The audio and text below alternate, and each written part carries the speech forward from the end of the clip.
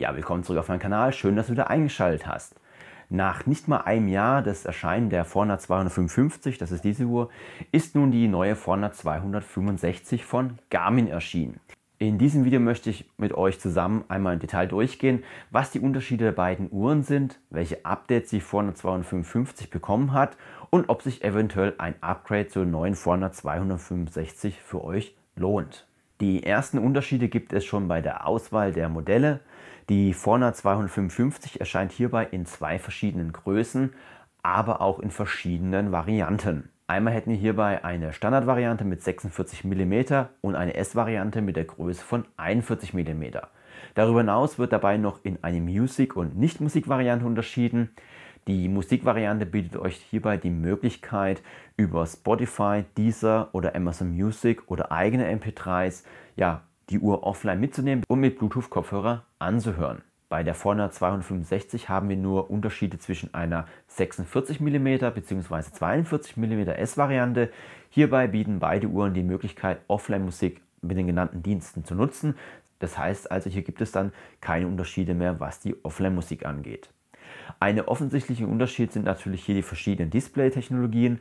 Während wir noch bei der Forna 255 ein Memory-in-Pixel-Display verbaut haben, welches sehr stromsparend und auch sehr gut im Sonnenlicht ablesbar ist, so bekommen wir bei der Forna 265 als erste Forna-Uhr ein OLED-Display spendiert.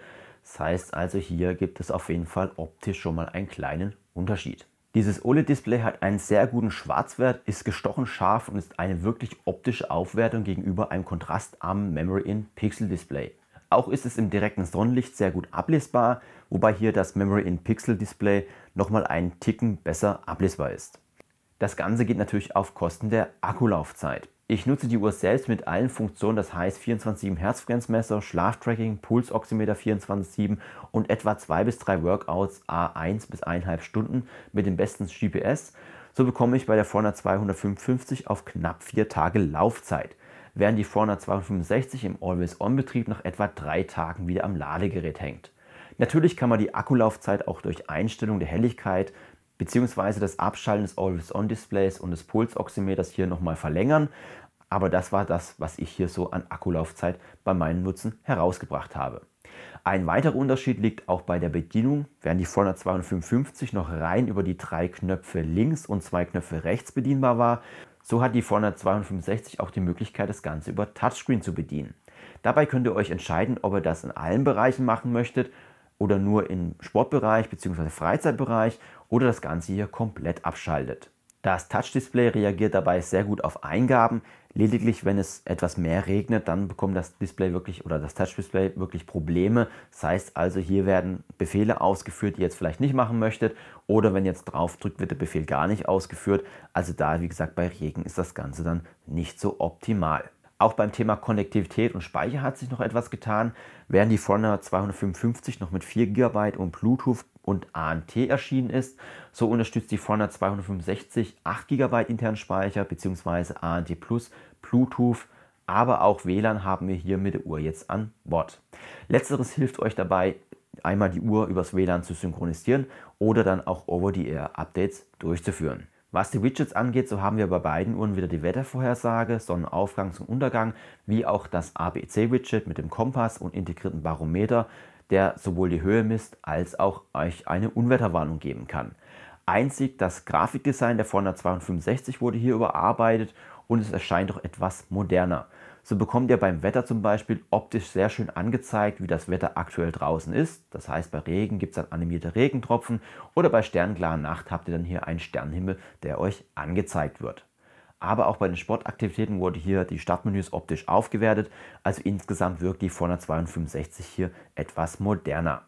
Sowohl die Forna 255 als auch die Forna 265 bieten alle gängigen Fitnessfunktionen wie einen Schrittzähler, Etagenzähler, ein Kalorientracker, aber natürlich auch das Schlaftracking, das natürlich dann auch den HRV-Status ermittelt, also die Herzfrequenzvariabilität. Beim Schlaftracking habt ihr aber nun die Möglichkeit, bei der Forna 265 noch einen Schlafplan zu hinterlegen. Gerade wenn ihr Schicht arbeitet, ist das für die Uhr hilfreich, hier euren Schlaf besser zu erkennen. Darüber hinaus geht die Forna 265 dann in einen sogenannten Schlafmodus. Das heißt, der Bildschirm wird abgedunkelt Und alles, was mit Vibration und Aktivitätsalarm angeht, wird an dieser Stelle dann auch abgeschaltet bzw. nicht dann aktiviert, um euch hier nicht beim Schlafen zu stören. Bei den Sportwidgets haben wir auch bei beiden Uhren natürlich einmal das überarbeitete Leistungswidget, was einen Blick anzeigt, wie euer aktueller Trainingszustand ist. Darüber hinaus bieten beide Uhren auch die Möglichkeit, sowohl die VO2 Max fürs Laufen als auch fürs Radfahren zu ermitteln. Für letzteres ist aber dann wieder ein Smart Trainer bzw. ein Leistungsmesser am Leistungspedal oder Leistungskurbel notwendig, um hier dann die Werte zu ermitteln bzw. euch die VO2 Max anzuzeigen. Solltet ihr ein Leistungsmesser nutzen, bekommt ihr dann auch beim Radfahren tägliche Trainingsvorschläge angezeigt, um eure sportliche Leistung weiter auszubauen. Beim Laufen gibt es auch hier die täglichen Trainingsvorschläge. Darüber hinaus habt ihr dann auch noch eine geschätzte Laufprognose von 5 Kilometer, 10 Kilometer und Halbmarathon bzw. Marathon auf beiden Uhren. Natürlich basieren diese auf euren aktuellen Leistungszustand. Natürlich habt ihr auch die Option bei Garmin Connect Trainingspläne fürs Radfahren, Laufen herunterzuladen oder hier einen Garmin Coach zu nutzen. Was wir aber bei der 400 erhalten haben, was aktuell die 400 nicht unterstützt, ist das sogenannte Trainingsbereitschafts-Widget. Dieses Widget analysiert euren letzten Schlaf, den Schlaf der letzten sieben Tage, den HRV-Status, eure Trainingsbelastung und eure Erholungszeit. Basierend auf diese Parameter bekommt ihr eine ganz einfache Übersicht angezeigt, wie bereit ihr für das Training seid bzw. für ein aktuelles Training. Gerade für Einsteiger ist das ein wirklich ein sehr interessantes Widget, weil es auch sehr hilfreich veranschaulicht, wann es vernünftig ist, eine Pause einzulegen, damit der Körper genug Zeit bekommt, um hier die Regeneration durchzuführen. Was die Sportaktivitäten angeht, so hat sich bei der Fauna 265 gegenüber der Fauna 255 nichts verändert. Das heißt also, wir haben hier die gleichen Aktivitäten auf der Uhr. So habt ihr bei beiden Uhren nur die Möglichkeit, Multisport durchzuführen, aber natürlich dann auch Triathlon. Also beim Multisport könnt ihr selber einstellen, was ihr machen möchtet. Mit der Garmin Enduro 2 haben wir beim Laufen nun das Datenfeld der angepassten Pace am Berg erhalten. Was ist die angepasste Pace?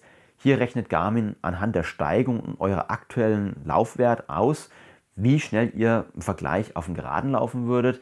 Das geht einfach nur darum, euch zu zeigen, ja, lauft ihr etwa in diesem Bereich, wie ihr sonst auch lauft, oder seid ihr hier overpaced und könnt das Ganze hier am Berg etwas besser einschätzen. Die Fauna 265 hat das Datenfeld von Haus aus dabei, das heißt, ihr müsst hier nichts mehr machen. Aber bei der Fauna 255 gibt es nun auch mit dem Firmware-Update dieses Datenfeld. Das heißt also, hier hat sich auch seit Release einiges getan. Wenn ihr das Update durchführt, bekommt ihr auch hier die angepasste Pace angezeigt. Ebenfalls unterstützen beide Uhren den Garmin Pod, den HM Run Gurt, Pro Gurt und Plus Gurt, mit diesen ihr erweiterte Laufeffizienzwerte ermitteln könnt. Das heißt also die vertikale Bewegung, das vertikale Verhältnis, die Schrittfrequenz, die Schrittlänge und die Balance. Was mit der Garmin Forerunner 265 neu hinzukommt ist, dass ihr bis auf die Balance alle Werte auch ohne Brustgurt bzw. Pod ermitteln könnt. Das heißt also, die Uhr misst das Ganze hier direkt am Handgelenk. Ein Update für die Forerunner 255 ist leider zu diesem Zeitpunkt nicht ersichtlich, bzw. es gibt auch keinen Beta-Test, der zeigt, ob das Ganze dann auch irgendwann mit der Forerunner 255 möglich ist. Auch bei der 462 haben wir wieder das Multiband-GPS an Bord. Das heißt, gerade in Wäldern oder in Bergen oder in der Stadt habt ihr ein optimales GPS-Bild bzw. auch eine sehr gute Pace-Messung. Darüber hinaus haben wir jetzt nun auch das intelligente System bzw. SAT-IQ bekommen. In diesem Fall ermittelt die Uhr anhand der Signalstärke des GPS, welches System es verwenden soll, ob es jetzt im Wald ist und hier auf Multiband schalten muss oder wenn es im Freigelände ist, dass hier auch normales GPS reicht ohne hier große Verluste bzw. ein schlechteres GPS-Bild zu bekommen.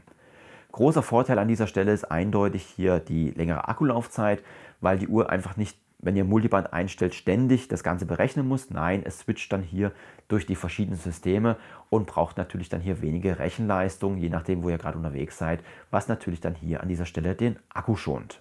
Die 400 255 hat das SAT-IQ-System mit dem Release noch nicht gehabt, aber auch hier wurde das Feature über ein Firmware-Update nachgereicht. Also wie ihr seht, Garmin betreibt auch bei diesen Uhren oder bei älteren Uhren immer noch eine Produktpflege und bringt hier nochmal Features nach, wenn diese hier dann bereit sind, beziehungsweise die Uhr das Ganze dann auch verwalten kann. Jetzt ist natürlich die Frage, lohnt sich jetzt ein Wechsel von einer 400 255 auf eine 400 265? Wir haben natürlich hier, wie gesagt, das OLED-Display, das ist natürlich wirklich eine optische Aufwertung und auch das Trainingsbereitschaft-Widget ist wirklich ein sehr, sehr starkes Widget. Also ich arbeite damit gerne und es gibt auch wirklich sehr gute Werte wieder, wie man sich auch gerade fühlt. Nichtsdestotrotz ist die Forna 255 immer noch eine sehr, sehr gute Sportuhr. Wenn ihr jetzt sagt, okay, ich kann auf diese Features verzichten oder auf die genannten Punkte, die ich jetzt genannt habe, es gibt ja auch schon viele, viele Updates, die die Forna 255 mal aufwerten. Und das Memory in Pixel Display, das ist natürlich die Frage, ob es einem gefällt oder ob es einem nicht gefällt. Insgesamt kann man aber auch sagen, beide Uhren sind in ihren Segmenten. Also wenn ich jetzt sage Memory in Pixel Display, ist es mit Abstand das beste Preis-Leistungs-Verhältnis, die Forna 255 zu nehmen.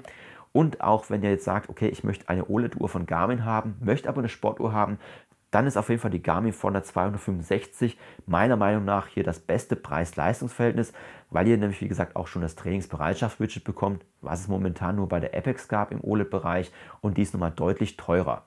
Ja, ich hoffe, ich konnte euch einen kleinen Eindruck geben, was hier die Unterschiede sind. Es sind zwar nur ganz kleine Unterschiede, es sind wieder Nuancen, die Garmin hier erweitert und Ihr müsst jetzt, wie gesagt, für euch selber entscheiden, was für euch an dieser Stelle jetzt die richtige Uhr ist. Wenn dich noch mehr zum Thema 400 265 interessiert, ich habe oben auch mal einen Test gemacht, kannst du mal anschauen.